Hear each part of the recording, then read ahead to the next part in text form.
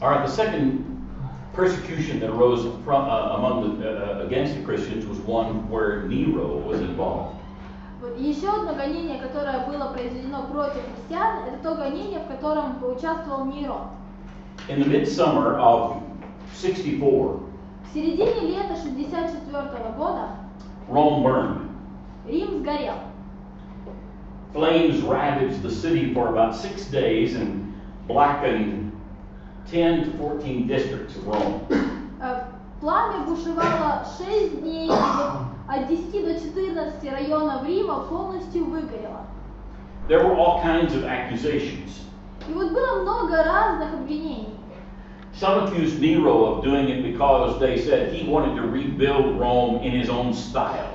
Некоторые обвиняли Нерона, говоря о том, что он хотел перестроить Рим так, как ему хотелось. Uh, others said, well, he just really didn't care about the people. Другие говорили, что ему просто было все равно, на- то есть он не заботился о жизнях людей. According to history, Nero was about oh several miles away, and then he came back into Rome and organized firefighting. И вот, э, согласно истории, говорится о том, что Нейрон на тот момент находился вне Рима, за несколько километров от него, и только через несколько дней, когда он вернулся в город, тогда он организовал вот усилия по- потушению пожара. But many people blamed Nero for the fire. Но очень многие люди обвиняли Нейрона в том, что это он занимался поджогом всего этого. And there was a later rumor that said, well, uh, Nero fiddled while Rome burned. И вот есть еще и другой слух, который звучит, что а, когда Рим горел, Нейрон играл на скрипке. In actual fact, the, the, the fire probably began by accident. Ну вот э, факт, как бы исторический факт заключается в том, что пожар начался по случайности. But the rumors spread. Но слухи начали расползаться.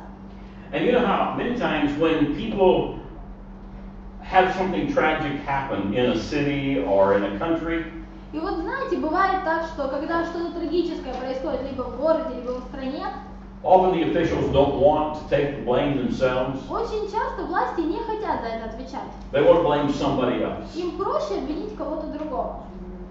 And so Nero blamed this minority group called Christians. И вот Нейрон решил обвинить вот эту малую группу, то есть точнее группу меньшинства, которые называли себя христианами. He was actually the first Roman emperor who actually recognized Christians as a separate group. И вот, э, может быть, позитивный момент того э, в том, что Нейрон был первым римским императором, который признал христиан как отдельную группу, and as a new religion. как новую религию. In describing the, the persecution that occurred then against the Christians, one Roman historian wrote Some were dressed in furs and killed by dogs, others were crucified or burned alive to light the night. И вот э, один из э, историков описывает гонение так, что некоторых одевали в, э, в шкуры и их убивали, растерзывали собаки. Некоторых поджигали так, чтобы освещать город, э, улицы города ночью.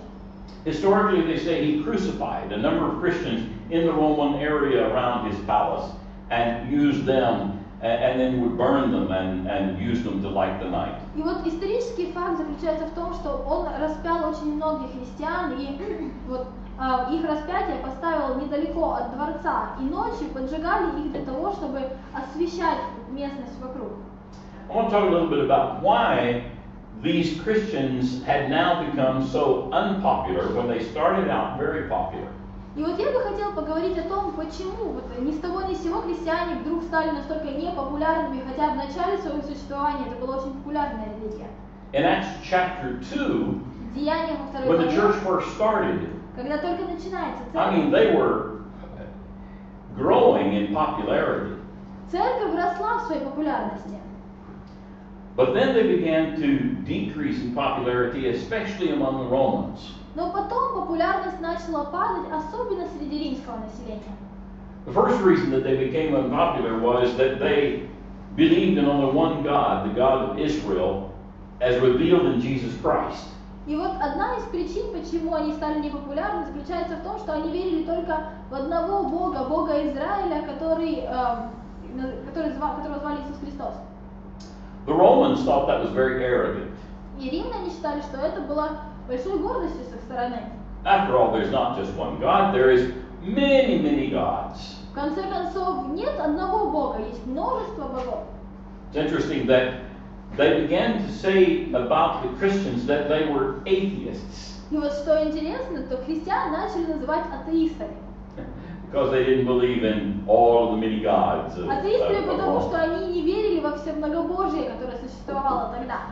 But another thing happened, a second thing happened, and that is that Christian worship began to be really misunderstood. И вот второй аспект заключался в том, что э, поя- появилось непонимание поклонения христианского. Now, I want you to think about the Lord's Supper. Вот подумайте, пожалуйста, над вечерей Господней. When we come and we partake the Lord's Supper, Когда мы собираемся, чтобы принять вечерю Господню, one of the things that Jesus said for us to do is take, eat. This is my body. Вот Иисус говорит нам, что возьмите и едите, ибо сие есть тело мое. Drink the fruit of the vine. This is my blood. Или пейте из чаши сей, ибо это кровь моя. And Christians would do that and talk about that, and people who didn't understand Christianity would say, Ooh, these are horrible people. They're like cannibals. И вот а, христиане выполняли это, говорили об этом, и те люди, которые ничего не знали о, христиа- о христианстве, в принципе, они думали, что христиане просто ужасные люди, они фактически каннибалы. And there, there are times when they would get together and they would feast together and they would have Lord's Supper together. They called them love feasts. И вот каждый раз, когда они собирались, когда они э, собирались на причастие, на проповедь, они называли вот эти собрания вечерями любви. And so that began to be distorted by people who didn't understand. И опять же, не понимая сути, люди начали извращать это понятие. And another thing that began to become distorted is that these Christians called each other brothers and sisters. А вот еще один момент, который ну, просто в замешательство приводил людей, это то, что вот эти христиане называли друг друга братьями и сестрами. Well, in Egypt, those terms А were вот used to describe sexual partners. в Египте этот термин использовался для описания сексуальных партнеров.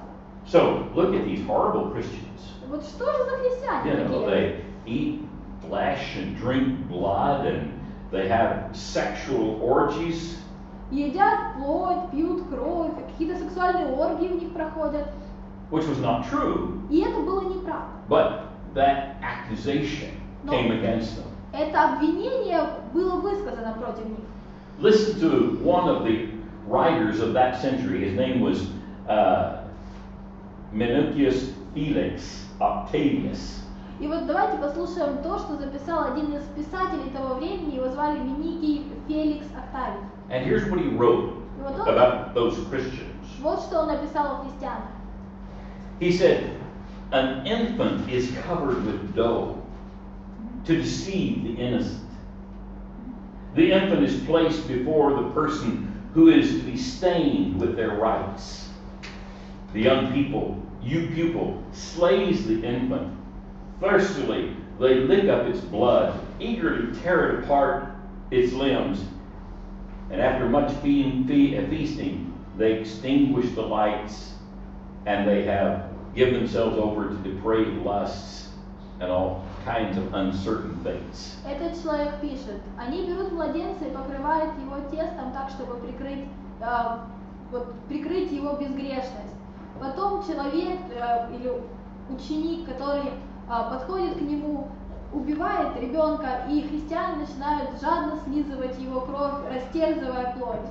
И после того, как они э, удовлетворяют вот, э, свою жажду и ну, свой голод, они пригашают свет, и начинается вот эта вечеря любви, где ну, фактически вот оргия. So that was what one of the writers during that day described Christian worship. То есть вот How так is that? э, писатель того времени описывает христианское поклонение. So, because of their belief in Jesus Christ, because of their misunderstanding, people's misunderstanding of worship, those were two things that were against the Christians. И вот из-за вот этого не- неправильного понимания как бы, веры в Иисуса Христа, из-за неправильного понимания их поклонения, э, то есть вот эти две вещи стали как бы э, теми вещами, в которых обвиняли христиан. A third thing was that Christianity challenged the Roman social order. И третий аспект это то, что христианство бросало вызов римскому э, укладу жизни. Remember the triangle that we put up here of the Roman social order? Вот вы помните, мы с вами видели вот такой треугольник а, в, социальном, в социальных слоях Рима. Well, many of the Romans didn't like what was happening in the church Многие римляне не э, любили то, что происходило в церкви. because high up people were becoming members of the church, Просто потому, что вот э, очень э, люди из высоких слоев населения становились членами, членами церкви, и при этом рабы и нищие тоже были членами церкви. and these apostles of Jesus Christ were teaching such things as there is neither Jew nor Greek, there's neither slave or free, there is neither male or female, Galatians 3 28. И вот эти апостолы Иисуса Христа, которые учили вот то, что написано в Галатам 3.28, что нет более ни раба, ни свободного, мужеского пола, ни женского, а, ни female, male, female, slave free, slave free and uh, Jew or Greek. да, еврея или эллина. So the church challenged that structure of the Roman society. То есть вот церковь бросала вызов структуре римского общества. And I'm sure that some of the Romans who would come into a church gathering to see what was there and see what was happening Я думаю, что некоторые кто при- из римлян, кто приходили на э, церковное служение, чтобы увидеть, что там происходило, что делают христиане, were horrified to see slaves sitting by freeborn people были в ужасе and от того, citizens. от того, что видели, как рабы сидят рядом со свободно рожденными или рядом с гражданами. But that was happening. Так и происходило. And then, fourthly, Christianity became known and seen as a new religion. И вот четвертое то, что христианство стало рассматриваться и презентоваться как новая религия. Rome tolerated the Jewish religion То есть Рим нормально, как бы он сносил иудаизм and the different sects of the Jewish religion. и различные секты иудаизма. But Christians were really weird people. Но христиане были очень странными людьми. They had no У sacrifices, них не было жертв, no temples, не было храмов, no sacred city. никаких священных городов. Huh. They were very strange. Очень странные люди. And so a lot of the Romans thought, uh, this is really a, a new religion, it's a strange religion, and we don't like it. И многие римляне говорили, это какая-то новая религия, странная религия, и нам она не нравится. So many people got behind those persecutions. И вот многие люди э, тоже как бы поддержали гонения. Now, Christ had predicted that the persecution would take place, Христос предсказывал, что гонения будут. and it was inevitable that this was going to take place Это because the неизбежно. thinking of the world is so different from the thinking of Christ. Неизбежно потому, что мышление мира совсем отличается от мышления Христова. Persecution, of course, is now a historical reality. И гонение, конечно же, на данном этапе является исторической реальностью. It happened in times past, and it still happens today. Оно происходило ранее и происходит сегодня. And those people who follow Christ need to understand that this could happen to us. И последователи Христовы должны понимать, что и с нами такое может произойти. But the beauty, beautiful thing is that once you follow Christ, even if you're killed in persecution, you get something much, much greater Ну, вот прекрасная э, новость относительно гонения, то, что если ты умер со Христом, то ты получаешь что-то намного большее, чем то, что было у тебя на земле.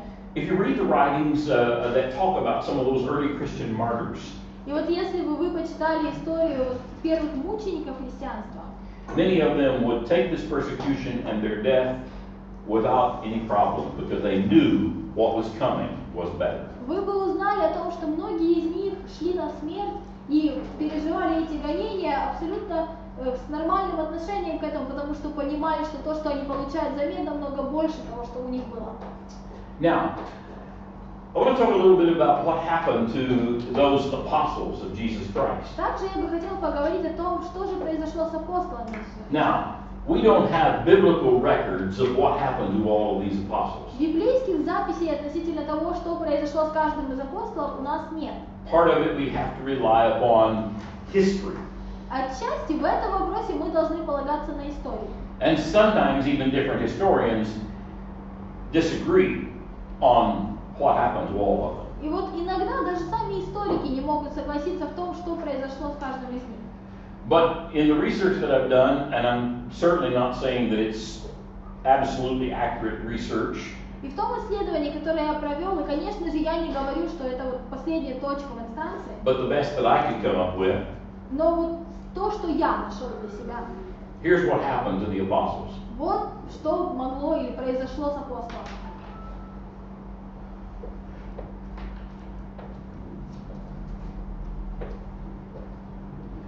and they lost connection with it. Yeah.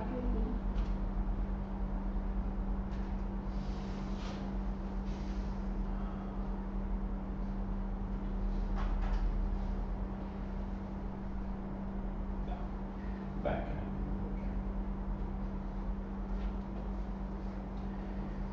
History tells us that the Apostle Peter was killed in Rome at the time that Nero was the emperor.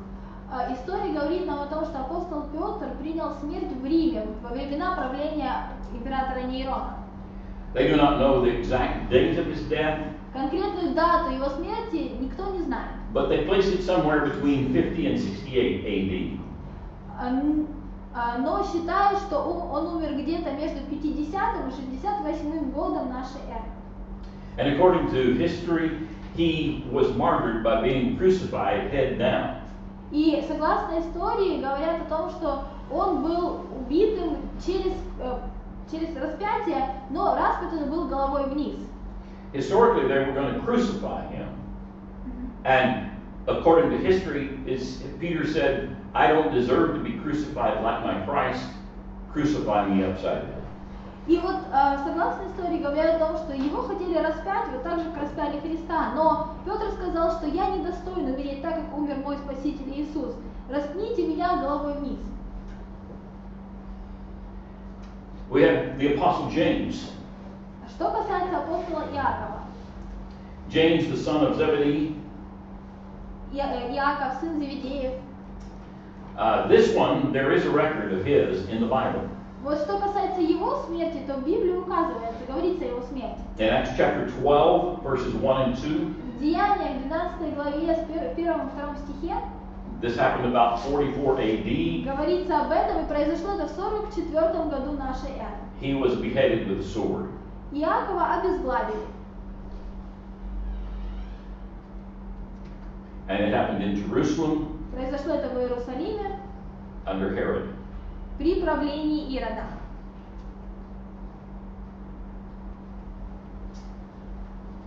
Andrew, Что касается апостола Андрея, brother of Peter, это был брат Петра.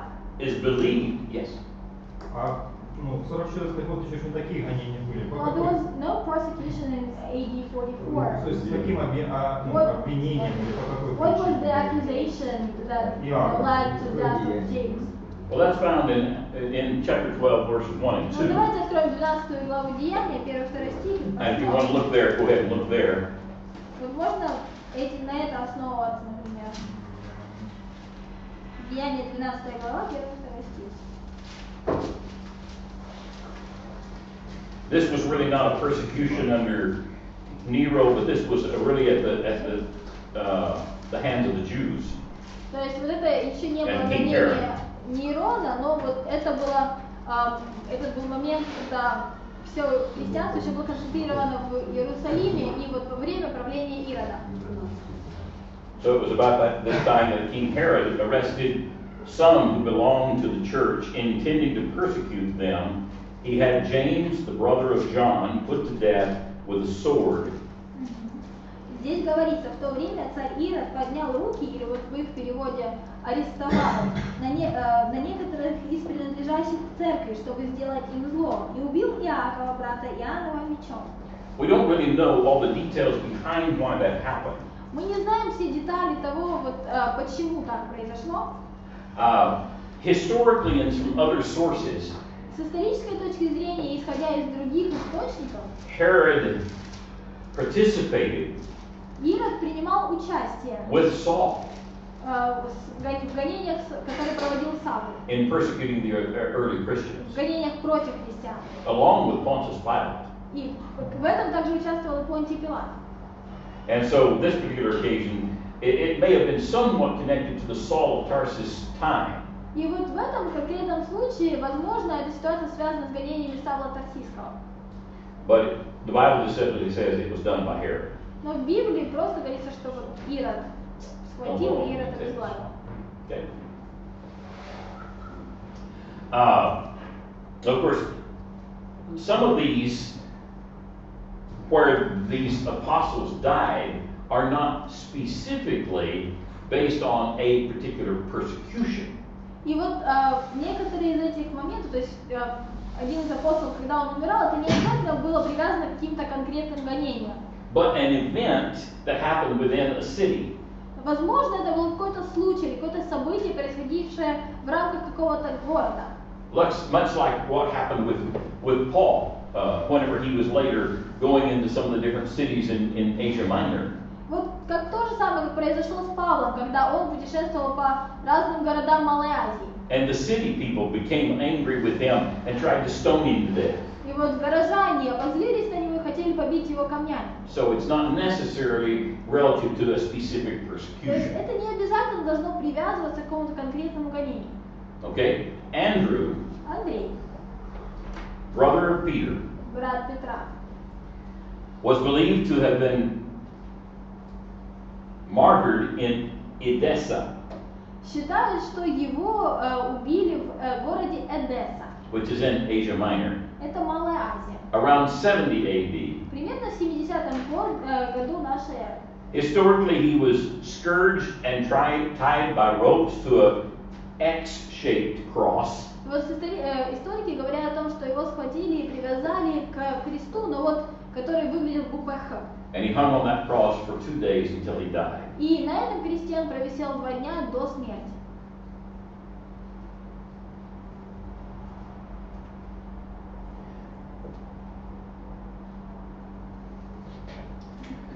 course, John, the son of Zebedee, brother of James, Иоанн, сын Зеведеев, брат Якова, is the only one who is believed to have died a natural death. считается, что он единственный из апостолов, кто принял природную смерть. He is believed to have died in Ephesus, И говорят, что он умер в Ефесе. although in the latter part of his life, he was ex- exiled to the Isle of Patmos. Тем не менее, вот последние годы своей жизни, как говорится, что он провел на, то есть он был сослан на остров Патмос.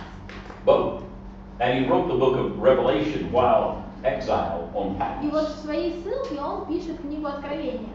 But Patmos is very close to Ephesus. Но остров Патмос находится очень близко к Ефесу. It's also believed historically that John took Mary, the mother of Jesus, and took care of her the rest of his life. И также вот в истории говорится о том, что Иоанн взял мать Иисуса Марию и заботился о ней до конца ее жизни.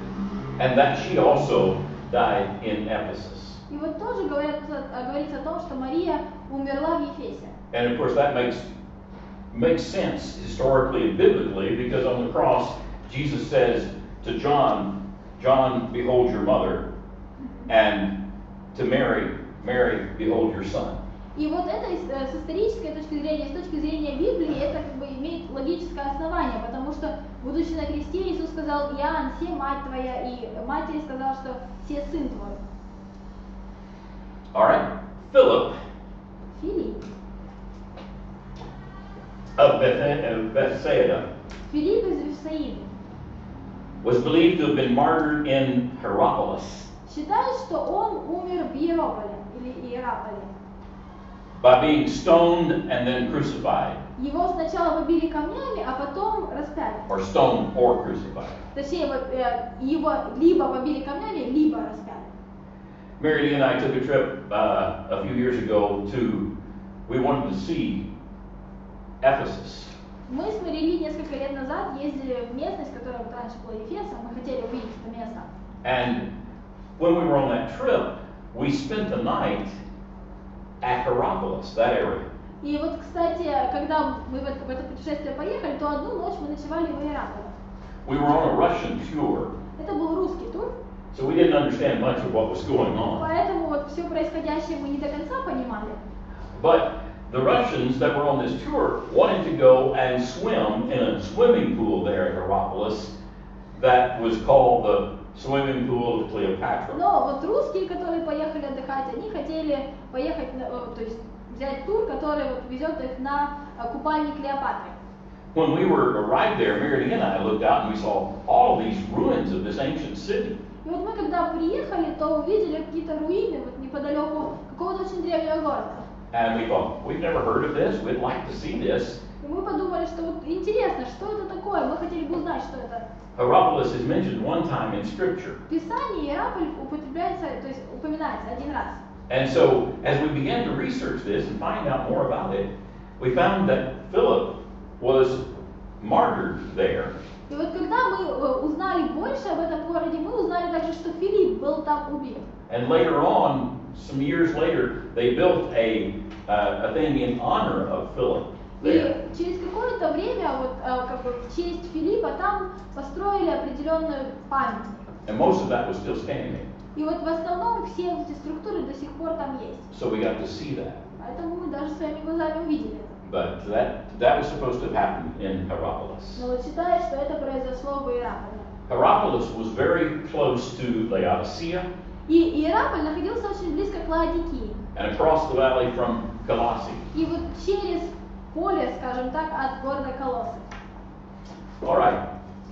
The next one, Следующий. Bartholomew, Варфоломей, also known as Nathaniel. также известен как Нафанаил. Historically, it's believed that he was martyred in Armenia Говорят, что его убили в Армении. by being skinned alive and crucified upside с down. него вот сняли кожу при жизни и повесили вверх ногами. Армяне, вы что творите? Now, here's one thing that's just here's one thing that's just amazing to me. Вот удивительная вещь для меня. Some people say, well, these disciples of Jesus Christ just believed a fictitious story. Некоторые люди говорят, что ну вот последователи Иисуса Христа поверили в какую-то вот мифическую историю. And they believed the lie about Jesus raising from the dead. Поверили в какую-то ложь про то, что Иисус умер, э, точнее воскрес из мертвых. But they knew it was a lie. Но они знали, что, если бы они знали, что это была ложь, I've read books by modern day scholars that have said this. то есть вот я читала э, книги современных историков, которые говорят об этом. My question is, Мой вопрос if случае, they knew this was a lie, если бы они действительно знали, что это ложь, why would they die for that? зачем умирать за это? Not just one of them, И не просто один из них but умер. over and over and over and over and over. Снова The и apostles снова died for that апостолы belief. умирали за эту веру. And it was because they really believed that Jesus Christ had died, was buried, and was Я resurrected, думаю, Что они поступали так, потому что действительно до конца верили, что and was Иисус the Son of God. умер, был погребен и воскрес, и был Сыном Божьим. The Apostle Thomas. Апостол Фома. Some say that he died also in the town, place called Edessa. Некоторые говорят, что и он тоже умер в месте под названием Эдесса. Others claim that he was actually martyred in India Другие говорят, что его э, ум- умертвили в Индии. by being cast into a furnace of fire. И вот э, умер он через то, что его э, бросили в горящую печь. About 70 AD. Примерно в 70-м году. Matthew, Матвей, that was called Levi, который э, назывался также Левий, he was believed historically to have died in Nadab in Ethiopia. э, говорят, э, что в истории говорят, что он умер э, в на- Nadab. в городе Наддавар в Эфиопии. about 60 AD. Примерно в 60 году. And according to history, he was nailed to the ground and then beheaded. И вот согласно истории, его прибили вот к, к земле и потом обезглавили.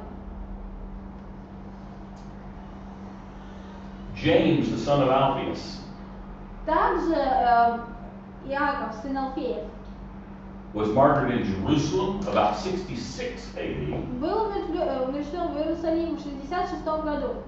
And historically, they say he was thrown from one of the temple towers И говорят, что его э, сбросили с одной из башен э, в храме в Иерусалиме.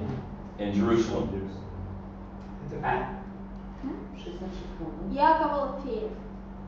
And that that fall did not kill him, so they clubbed him to death.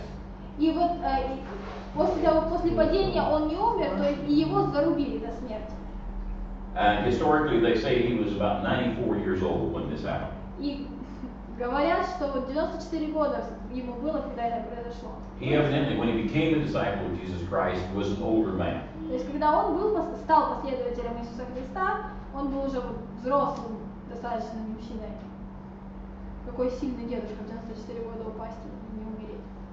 Then Jude, who is also called Thaddeus, А также Иуда Фадей, was also believed to be martyred in Edessa. тоже его убили в Эдессе.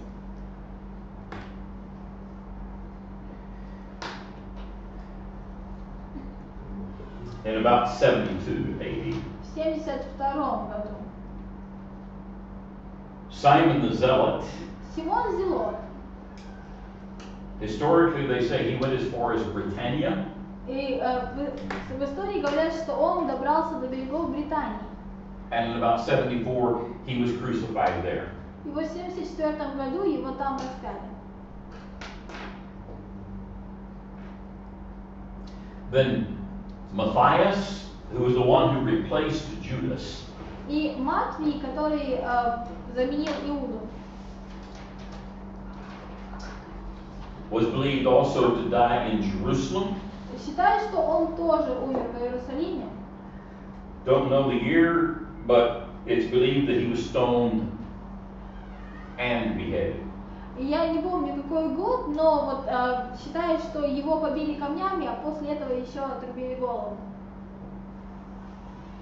Then the Apostle Paul И апостол Павел. was believed to have been beheaded in Rome Говорят, что ему отрубили голову в Риме, about 66 AD. примерно в 66 году. So that's what tradition says Но вот традиция церковная говорит об этом. about them. It's, you know, you, you need to understand that, again, that that's based on tradition, but it's, we don't know exactly on all of them. И вот вы должны понимать, что э, то, что мы с вами сейчас записали, оно основано на церковной традиции. Но вот точно конкретных фактов мы не знаем. And there's debate over even the Apostle Peter's death. И вот э, некоторые спорят даже относительно с- э, смерти апостола Петра. The Roman Catholic Church says that Peter was beheaded upside down, I mean, was crucified upside down and killed in Rome. И э, Римо-католическая церковь говорит о том, что е- Петра повесили вниз головой, и э, вот он умер в Риме. When you read the writings of Peter, you, you discover that there is a good possibility that Peter was not even in Rome at the time that the Catholic Church says he was killed. И вот если читать э, послание Петра, то в принципе складывается впечатление, что он даже не был на территории Рима и поблизости Ром, э, Рима, But когда он умер. But at that time, he may have even been in Babylon. Возможно, в это время он вообще был в Вавилоне, где So- местности. You know, these are these are just historical ideas of who the where they were crucified or how they were martyred. Many of them are probably accurate, but not all. Исторический взгляд на то, как вот некоторые из апостолов умерли, где приняли смерть. Но многие из них, наверное, точны и правильные, может быть, нет. When you go to Rome, you can go to what they call St. Peter's Basilica. И вот когда попадаешь в Рим, можно посетить вот такую э, базилику Святого Петра. And it's a very large Catholic building. И это огромное католическое строение. And according to them, the Apostle Peter is buried underneath that cathedral. И вот согласно тому, что они рассказывают, что под этим собором был похоронен апостол Петр. But they have all kinds of other strange things that they say about Peter. Но есть множество и других различных странных вещей, которые они говорят о Петре. They claim, of course, that Peter was the first pope. Конечно же, они говорят, что Петр был первым папой.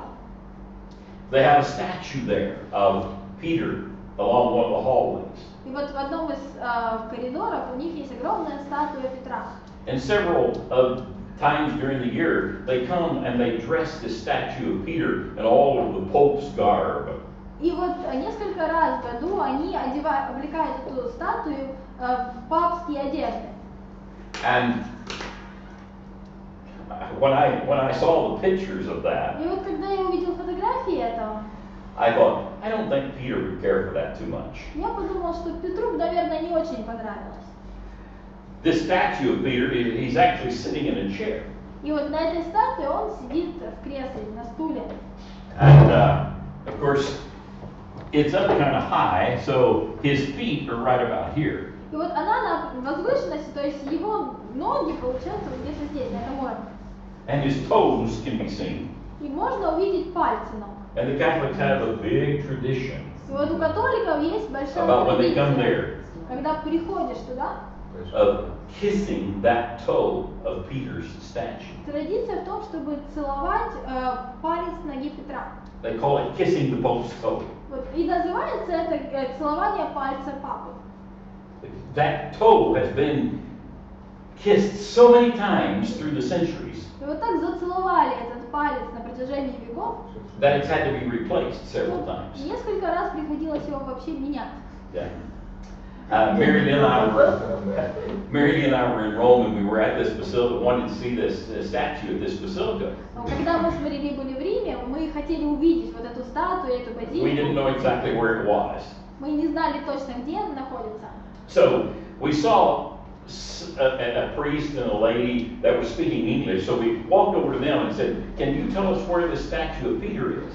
И вот мы увидели одного из священников и женщину, которые разговаривали на английском, мы подошли и спросили, где нам найти эту статую. The lady told us that, oh, you just go down this hallway and, to the, and go to the right in the next hallway, and it's right down there. И вот женщина говорит, пройдите вот прямо по коридору, потом поверните в другой коридор и увидите.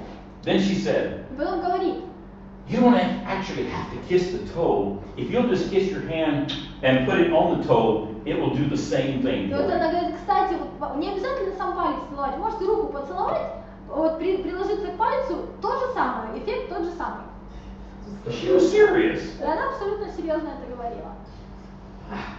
We just both shook our heads and said, Well, we want to go see this statue because we've heard about it, but not going to kiss the toe. Но мы вот головой покачали, говорим, мы, конечно, очень хотим увидеть статую, но целовать ничего не будем, просто интересно посмотреть. But that illustrates how, how much tradition has taken over the lives of people. Но это показывает, насколько традиции вот буквально заполоняют жизнь человека. And there are millions of people who believe this kind of stuff. И миллионы, миллионы людей действительно верят в это все.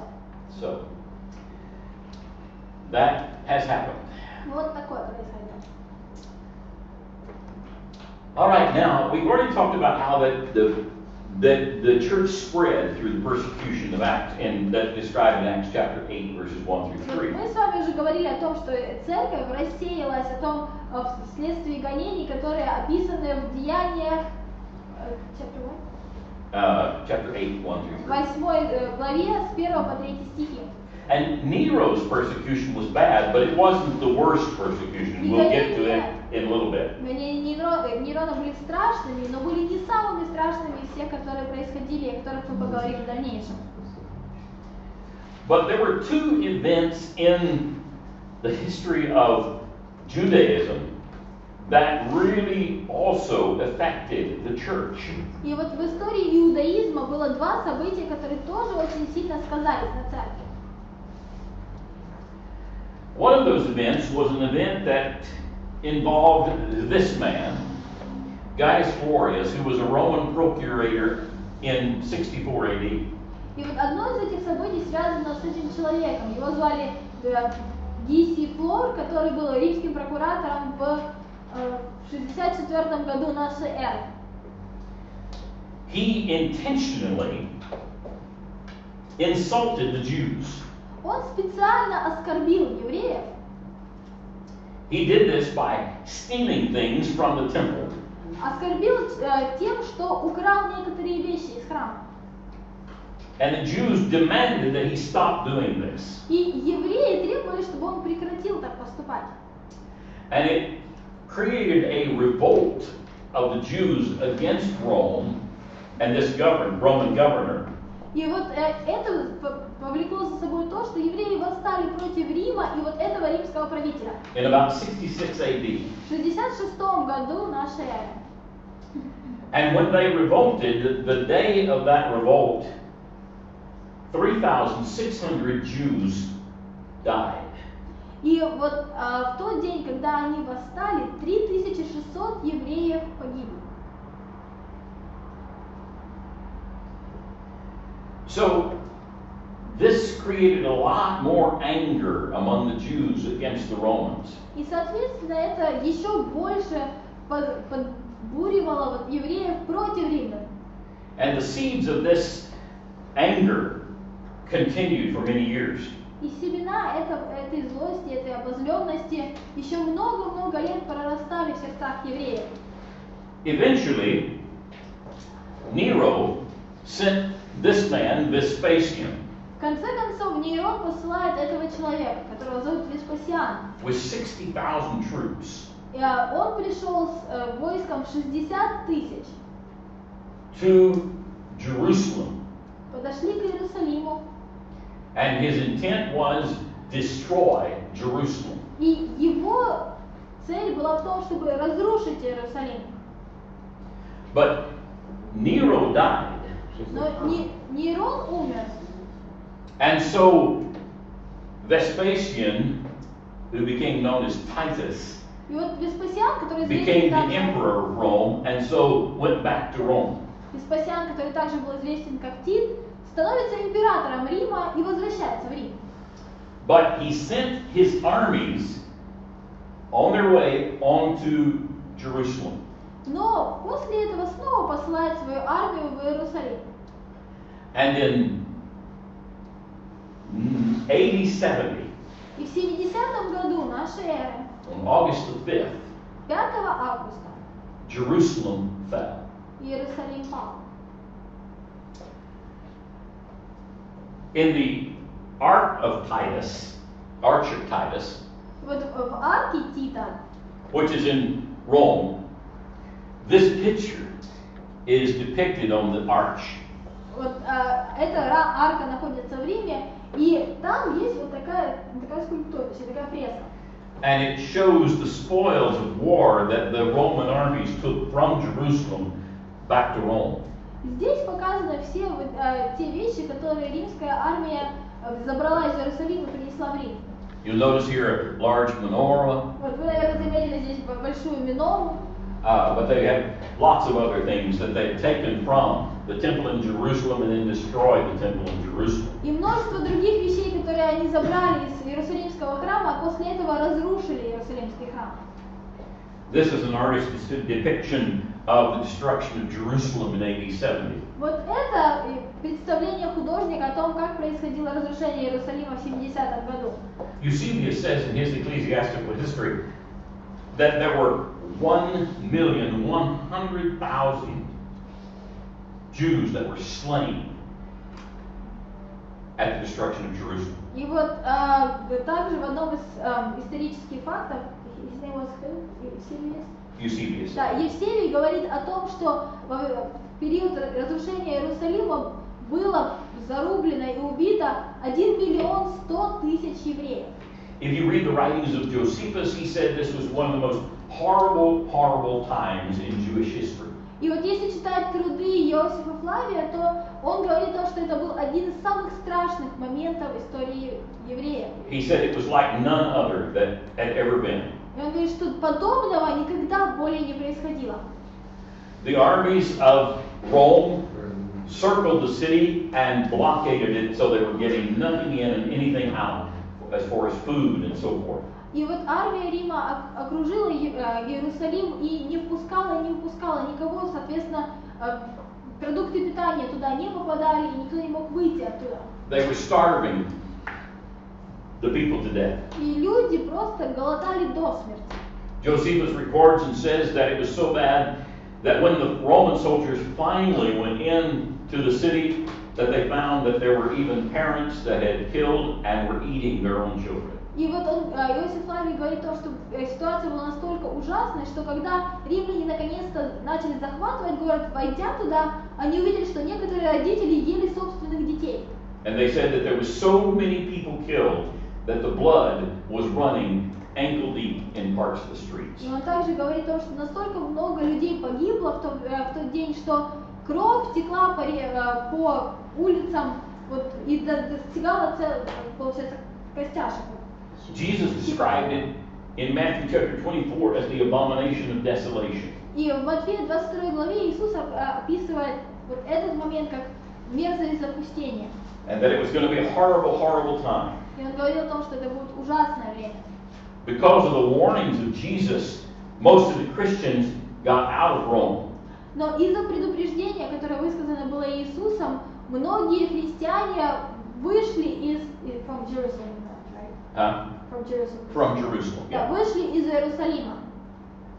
Because they had been given statements by Jesus that you watch for these times, and when you see these times, get out of Jerusalem. Потому что Иисус говорил то, что вот смотрите на эти знаки, когда увидите эти знаки, выходите из Иерусалима. And so the Christians got out. И христиане вышли. But it was a horrible, horrible, horrible time Но for время the было Jews. настолько ужасающее для евреев. And uh, they did exactly what Jesus said would be would happen. There was not one stone left upon another in the temple. И That was in римляне Jerusalem сделали at that вот time. как раз то, что предсказал Иисус, что камни на камне не останется в храме. They Потому destroyed что the temple. Они разрушили храм, They destroyed all the priestly records. Все, вот, э, все списки священников и священнические череды. Basically, they obliterated a lot of the history of the Jewish people. И стерли очень бо- большую часть истории еврейского народа. Today, if you find a man who says he is a priest of the tribe of Levi, Levi И вот сегодня, если вы встретите человека, который скажет, что я из колена Левия, he really cannot prove that он да не сможет никогда вам этого доказать. because all those temple records were destroyed. Потому что все вот эти храмовые записи были раз- э, уничтожены. It was a horrible, horrible time. То есть время было просто ужасное.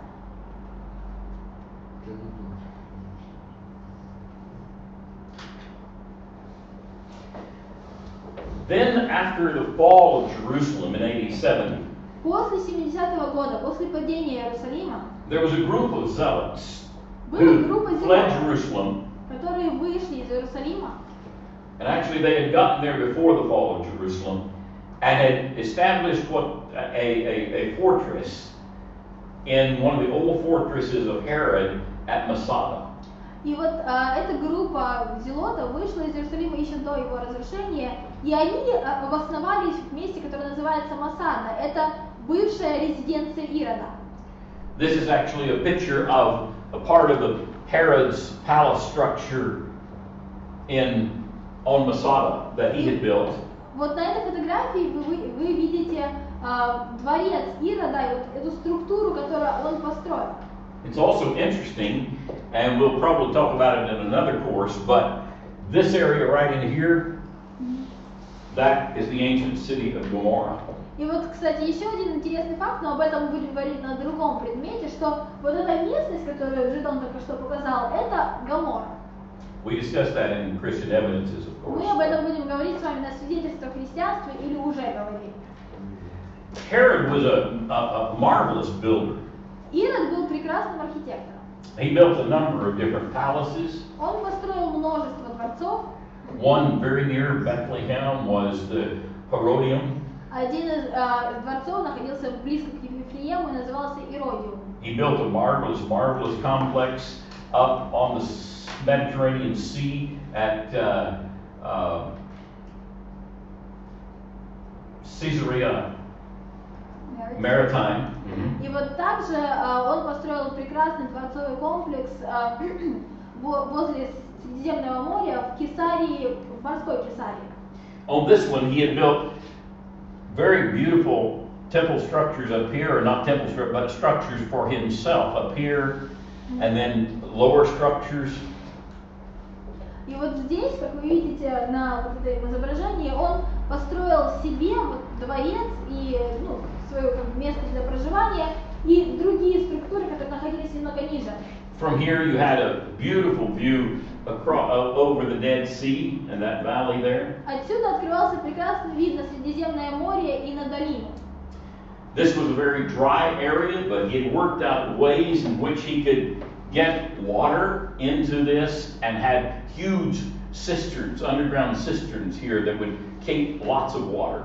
И вот а, эта местность очень засушливая, но он спроектировал все так, что а, туда могли поставлять воду, и у него были огромные подземные цистерны, где хранилась эта вода. Lots of these areas in here were places where he would bring and keep lots of food. И также там были вот такие как скла- э, складская э, э, местность, где они привозили очень много еды и там ее хранили. Part of the reason he did this was Herod was a very uh, paranoid man. Отчасти он делал так потому, что он был параноиком. He believed that constantly people were after him to try to kill him. Он постоянно боялся того, что кто-то за ним гоняется, кто-то хочет его убить. And he made this one so that he could go there if people were trying to kill him and protect himself there and could stay there for a long time. И вот построил этот дворец для того, чтобы если вдруг действительно кто-то захочет его убить, он мог бы туда сбежать и долгое время там продержаться. Well, these defenders, these zealots, went to this location and they went up in here and there was plenty of food and plenty of water to sustain them for a long while. И вот эти защитники, зелоты, они пришли вот сюда, и там было достаточно воды, достаточно еды, чтобы им долгое время там пробыть. There was one of the, the leaders' name was Eliezer ben Yair. Одного из лидеров зелота в то время звали Илиезер бен Яр. And he was the one that led these people up to Masada. И это был тот человек, который привел людей в Масаду. Well, after the fall of Jerusalem, После падения Иерусалима there was a, a, a Roman governor by the name of Flavius Silva. Был римский император, точнее правитель, под названием, э, которого звали Флавий Сильва. And in 72 AD, he was trying to destroy other remnants of the Jewish population. Вот в 72 году он пытался избавиться от других вот строений, других а, еврейских поселений. And he found out that these zealots were up on Masada. И узнал о том, что зелоты живут в Масаде. And so he sent a legion of troops to Masada to capture it. И вот он целый легион отсылает в Масаду для того, чтобы взять ее. Of course, you can see how difficult it's going to be to scale these walls with soldiers. Вы, конечно же, понимаете вот по структуре, что практически э, невозможно или очень тяжело, э, чтобы солдаты поднялись по вот этим стенам. По, It had been стенам. designed so that it would be very difficult to get in. Это специально было выбрано место и специально построено именно там, потому что туда практически, ну, это практически неприступное место. This is looking at Masada from down below. Это вот э, взгляд на Масаду снизу. Masada's up on the top. Вот Масада в самом верху находится.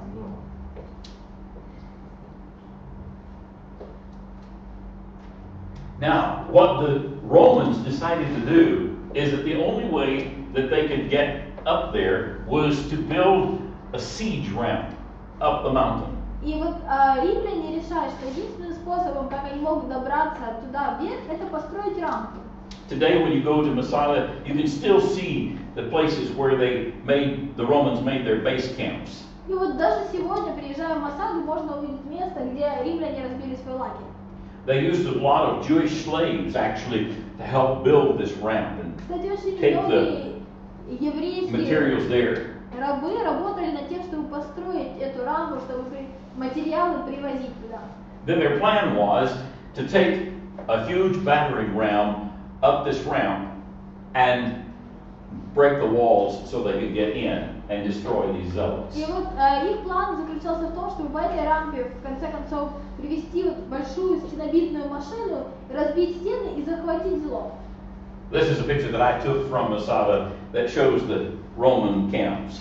Вот, а это моя фотография, которую я, я уже сделала, э, находясь в Масаде, и это римский лагерь. And then this is a picture of the siege ramp that they built. Now, А это фотография вот этой рампы, которую они построили. after many years, it's, you know, kind of deteriorated, deteriorated, but you can still see it today. Но вот через столько много лет она немножечко изменила свою форму, но даже сегодня она, можно ее просмотреть. The zealots that were on top would use some of these large stones like this and roll them down the ramp and try to kill the people that were building the ramp.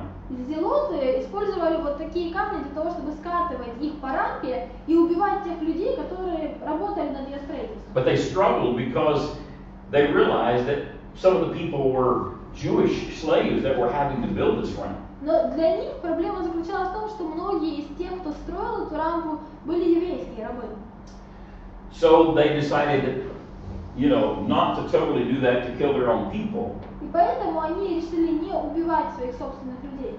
But there are a lot of buildings up on Masada that where they would live, where they would have. There was one that there was a they had called it a synagogue where they would have their worship time there. Но вот в Масаде есть множество различных строений. Одна из них даже называлась синагога, где они собирались и э, проводили свое духовное время вместе. And of course, in this picture, you can see the rugged territory too that was surrounding that. И вот э, на этой фотографии вы видите то, э, ту местность, которая окружала Масаду, вот, э, те горы и скалы.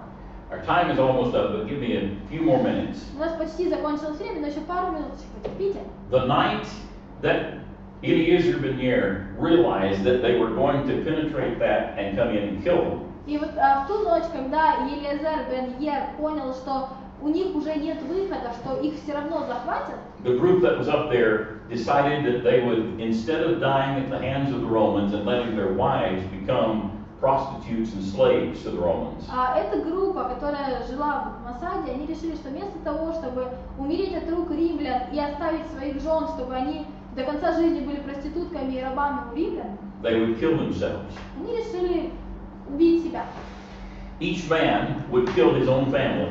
Каждый, каждый мужчина должен был убить свою семью. And after many tears of departure that night, each man killed his own family. И вот после многих слез, после многих ну, прощаний, каждый мужчина убил свою семью, And then there were ten men who were chosen to kill the rest of the men. и вот они выбрали из себя 10 человек, которые должны были убить всех остальных. These in Hebrew are the names of those men who were finally chosen. На еврейском вот это имена тех людей, которых выбрали для того, чтобы совершить всеобщий суицид. And then one was chosen to kill the other men. А из них один был тем, кто должен был убить вот And then остальных commit девять. suicide. Девять, и потом уйти самому. Так это легенда Well, they have legend in Ju- Jewish culture about 10 unknown. Yeah. Uh, they have found these pieces there at Masada, and they feel like that these are actually the men's names of the ones В who were Масаде chosen. нашли вот эти кусочки и считают, что это и- именно имена тех людей, которые были выбраны. I don't know if they can prove this, but they did find this pottery with ten, broken pottery with ten names. Я не знаю, можно ли это доказать, но нашли вот такой, э, кусочки э, глиняных сосудов, и на них были написаны имена. The next day, when the Romans broke the wall and came in, И вот на следующий день, когда римляне пробили стену и зашли, the Romans found food and water plenty. э, римляне нашли много воды, много еды. They knew that they didn't starve them out, То есть они знали, что они не, как бы, не от голода умерли эти люди. but they found that all the people were already dead. Но они увидели, что все люди уже были мертвы. So the Romans conquered a mountain. И получается, что римляне захватили город. But as far as these Jews were concerned, they didn't conquer the people. Но вот э, евреи знали о том, что людей они не захватили. They chose not to become slaves of the Romans. Они выбрали для себя, что они не будут никогда рабами Рима. An in- interesting thing about Masada today И вот что касается Масада сегодня, is when Israeli men and women and troops go through their basic training for the army, это то, что когда евре- ну, евреи проходят через армию, как мужчины, так и женщины, and they're officially inducted into the army, и когда они вот э, проходят через посвящение в армию, they are taken to Masada их привозят в Масад. and they are told, remember Masada, И им говорят, помните о Масаде. fight for Israel. То есть боритесь за Израиль. Okay, we'll let you go today. Ну, на этом все.